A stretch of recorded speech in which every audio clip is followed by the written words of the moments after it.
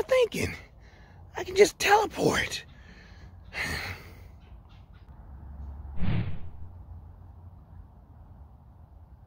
Oh, oh baby. That's what I'm. Imagine all the stuff I can do.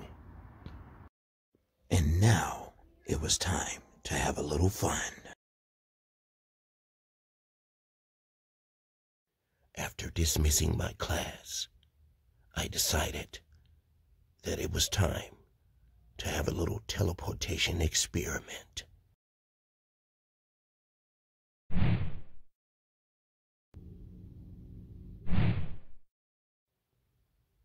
Yes.